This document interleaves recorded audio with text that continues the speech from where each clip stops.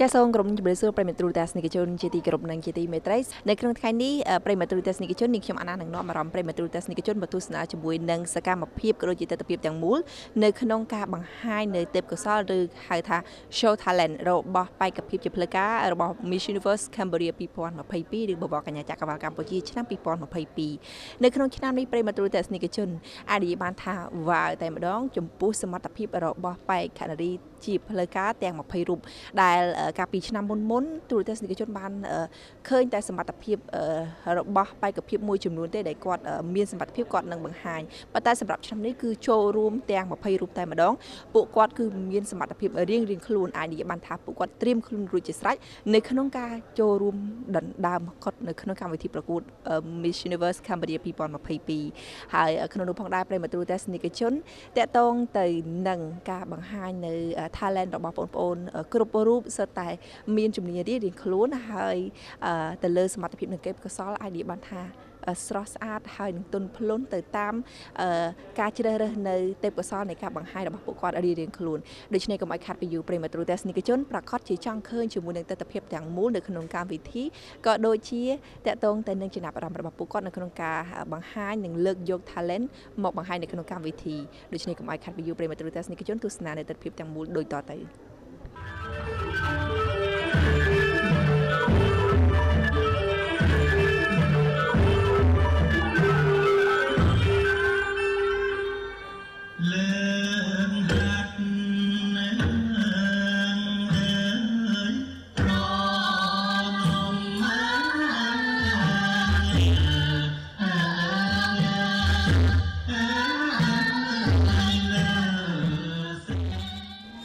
រាបសួរអូនចាណែនាំឈ្មោះទទួលស្និកជនបន្តិចណាចានាងខ្ញុំឈ្មោះហ៊ុនកេកឡាងមានអាយុ21ឆ្នាំហើយជាបេក្ខភាពប្រឡងនៅបបរកញ្ញាចក្រវាលឆ្នាំ2022នេះបងនៅក្នុងថ្ងៃនេះស្រស់ស្អាតមែនទែនប្រិមត្តទូទស្សនិកជនសម្ដែងជាមួយនឹងរបាំអ្វីដែរអឺ របាំនារីអើរបាំបាច់ផ្កាបងចារបាំជូនពោចាចានៅក្នុងថ្ងៃនេះរំភើបដែរទេជាមួយនឹងការបានក្រងនៅសម្លៀកបំពាក់ខ្មែររបស់យើងបែបនេះអឺអាចនិយាយថារំភើបខ្លាំងបងហើយខ្ញុំក៏មានអារម្មណ៍ថាសូមសរសើរដល់បងបងអ្នកសិល្បៈដែលគាត់ពាក់បានយូររាប់ម៉ោងសម្រាប់នេះខ្ញុំផ្ទាល់ពាក់ទៅតែបាន3ម៉ោងតែ វាឈឺបង តែពួកគាត់ពាក់តាំងពីព្រឹកដល់ល្ងាចបងអញ្ចឹងសូមសរសើរគាត់ខ្លាំងមែនតើចាចាហើយចំពោះមោទនភាពនៃការក្រងនៅឈុតសម្លៀកបំពាក់នេះមោទនភាពខ្លាំងដែរទេខ្ញុំមានអារម្មណ៍ថាខ្ញុំពិតជាមានមោទនភាពខ្លាំងមែនទែនដែលមានឱកាសក្រងឈុតនេះស្របជាមួយគ្នាផងដែរឃើញថាប្អូន គឺជាអ្នកសិល្បៈមួយរូបដែរមុននឹងចូលរួមប្រកួតត្រូវទេ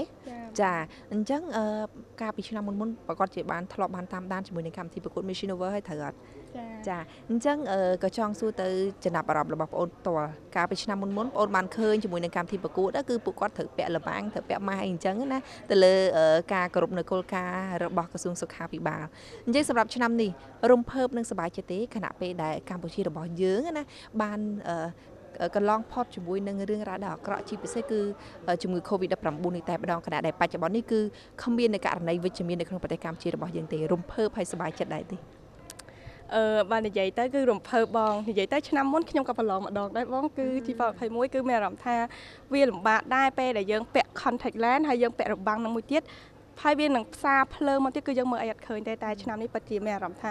រំភើបហើយអស្ចារ្យខ្លាំងមែនទែនដែលសំបីតែសពថ្ងៃជំងឺវិជ្ជមាននៅក្នុងប្រទេសក៏អត់សឹងនឹងមានដែរហើយឆ្នាំនេះសោសំបីតាម៉ាស់ក៏យើងលេងពាក់ចឹកខ្ញុំមានអារម្មណ៍ថាពិតជាមោទនភាពខ្លាំងមែនទែនចំពោះប្រទេសកម្ពុជាយើងបង នេះខ្ញុំសូមជម្រាបអរគុណទៅការរាជរដ្ឋាភិបាលកម្ពុជា ដែលលោកមានភាពម៉ឹងម៉ាត់ការហាននិងអប់រំទៅដល់វិស័យពង្រឹងនៅសកម្មភាព3គុំនិង3ការពារទៅធ្វើឲ្យប្រទេសកម្ពុជាយើងស្បើយនៅ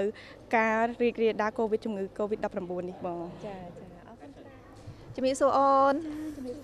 ចាជាដំបូងនេះណែនាំឈ្មោះទៅទស្សនិកជនបន្តិចណា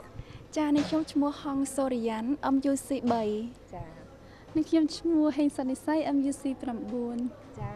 នៅក្នុងថ្ងៃនេះចាប្រិយមិត្តទូរទស្សនិកជនជួបជាមួយនឹងបេក្ខភាពជាផ្លូវការនៃកម្មវិធីប្រកួត Miss Universe Cambodia 2022ដែលសុទ្ធសឹងតែជាអ្នកដែលសម្លេងផ្អែមសតុនដល់ហើយចាចាអឺតកតងទៅនឹងការរៀបចំនៃកម្មវិធីប្រកួត Miss Universe ឆ្នាំនេះចំពោះបងប្អូនយល់ឃើញយ៉ាងណាដែរចំពោះការរៀបចំជាពិសេសករណី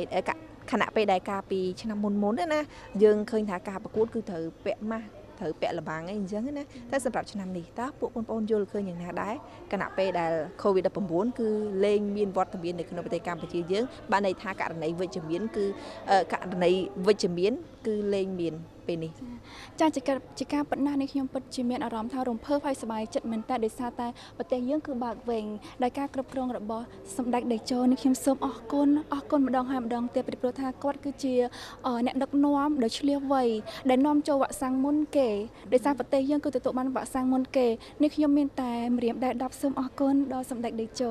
ហើយជាការពិតណាស់ថ្ងៃនេះ គឺយើងបានប្រលប់ឡើងនៅវិធី Miss Universe Cambodia Thailand ផងដែរហើយអ្វីដែលសំខាន់យើងគឺអត់បានយើងបានការពារខ្លួន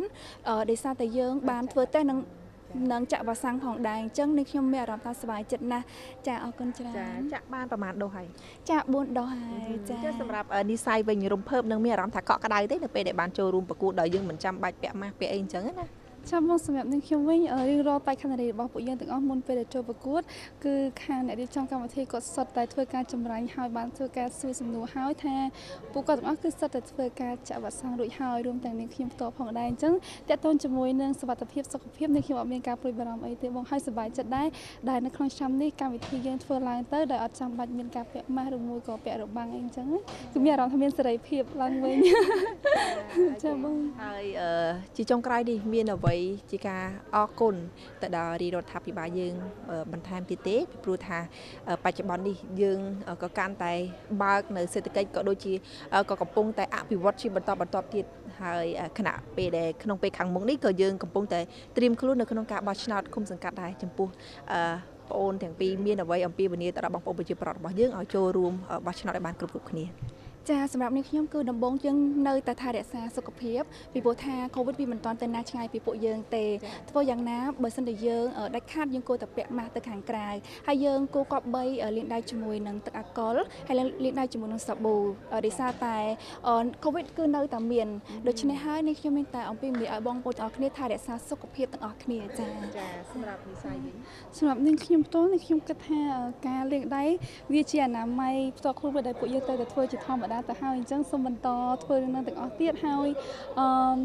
ចាការពៀនអ្នកនៅជុំវិញខ្លួនដោយធ្វើការថែរក្សាសុខភាពខ្លួនឯងវាជារឿងដែលសំខាន់ហើយតទៅនឹងជាមួយនឹងការចូលរួមបោះឆ្នោតនៅពេលខាងមុខនេះនេះខ្ញុំចង់ធ្វើការផ្ដាំទៅអ្នកទាំងអស់គ្នាថាការបោះឆ្នោតគឺជាកាតព្វកិច្ចមួយរបស់ពលរដ្ឋក្នុងនាមយើងជាពលរដ្ឋកម្ពុជាពួកយើងត្រូវតែមាន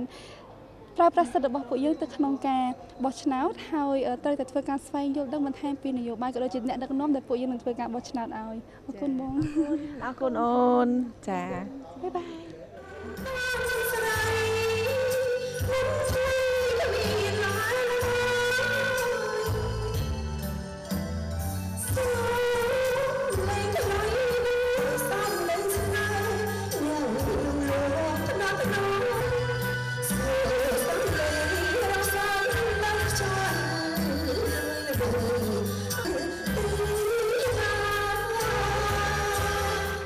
របជាមួយគ្នានោះផងដែរតកតងទៅនឹងការរៀបចំនៃកម្មវិធីប្រកួតបបរកញ្ញាចក្រវាលកម្ពុជាឆ្នាំ2022នេះតើបងយល់ឃើញយ៉ាងណាពីព្រោះថាអឺដូចកាលពីឆ្នាំមុនណាយើងក៏បានជួបគ្នាហើយហើយក្នុងនោះផងដែរយើងគឺពាក់របាំងមុខនិងពាក់ម៉ាស់រៀងៗខ្លួនប៉ុន្តែឆ្នាំនេះតើសម្រាប់បងផ្ទាល់យល់ឃើញយ៉ាងណាខណៈពេលដែលជំងឺ Covid-19 គឺគ្មានវត្តមាននៅក្នុងប្រទេសកម្ពុជាយើងបានន័យថាបច្ចុប្បន្ននេះគឺគ្មាននៅវិជ្ជមានទៀតនោះទេ បាទអរគុណច្រើននិយាយទៅសម្រាប់ខ្ញុំបាទផ្ទាល់គឺមានអារម្មណ៍សប្បាយរីករាយខ្លាំងមែនទែននៅពេលដែលប្រទេសយើងចាប់ផ្ដើមបើកកាលពីដើមខែមេសាមកយើងក៏ចាប់ផ្ដើមអាណោនក្នុងការរៀបចំប្រកួតបវរកញ្ញាចក្រវាលកម្ពុជាឆ្នាំ2022ហើយយើងក៏ឃើញថាឥឡូវនេះប្រជាជនទាំងអស់គ្នាដើរហើរទៅទីណាគឺมันមានពាក់ម៉ាស់ឬក៏ ប្រើរបាំងមុខអីទៀតទេប៉ុន្តែទាំងអស់គ្នានៅតែបន្តការពារតាមការណែនាំរបស់ក្រសួងសុខាភិបាលដដែលហើយនេះក៏សបបញ្ជាក់ឲ្យឃើញថាសម្ដេចនាយករដ្ឋមន្ត្រីលោកពិតជាមានគោលដៅធំធេងសម្រាប់ប្រជាជនកម្ពុជាទាំងមូលក្នុងការ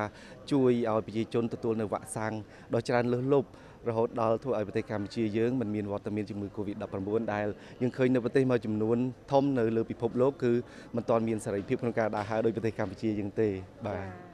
ប្រិយមិត្តទូរទស្សនិកជនជាទីគោរពនិងជាទីមេត្រីលោកអ្នកបានទស្សនារួចមកហើយជាមួយនឹងចំណាប់អារម្មណ៍របស់បងប្អូនបេក្ខភាពនៅក្នុងកម្មវិធីប្រកួត Miss Universe Cambodia 2022ហើយក្រុមក៏បានទស្សនាជាមួយនឹងទស្សនវិជ្ជាទាំងមូលនៅក្នុងការបង្ហាញនៅ talent របស់ពួកគាត់រៀងៗខ្លួនផងដែរខណៈពេលនេះនាងខ្ញុំអាណារាយការណ៍នៅ studio បឹងស្នោនៅក្នុងការបង្ហាញនៅទេពកោសល្យរបស់បេក្ខភាពផ្លូវការនៅក្នុងកម្មវិធីប្រកួត Miss Universe Cambodia សូមអរគុណនិងសូមគោរពលា